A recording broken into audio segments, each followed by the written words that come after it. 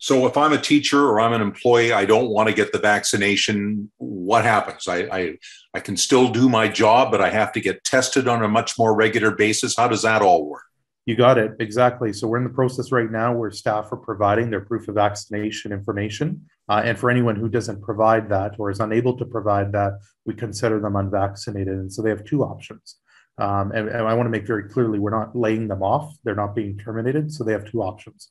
Uh, one is that they'll go undergo uh, regular testing. Uh, testing will be provided by the school district at the cost of uh, the school district, and so there's no cost borne on those employees. Uh, or if those employees don't want to get tested regularly, I think it's about one or twice, once or twice a week right now that we're working with public health and just clarifying that. That'll begin on March 7th. Um, they can go on extraordinary leave without pay. Um, and so, so far in terms of that feedback, um, I've heard from staff who are obviously very pleased with this direction. They felt that it was safer to have those who are vaccinated in our schools. Uh, resounding um, uh, feedback from our families as well.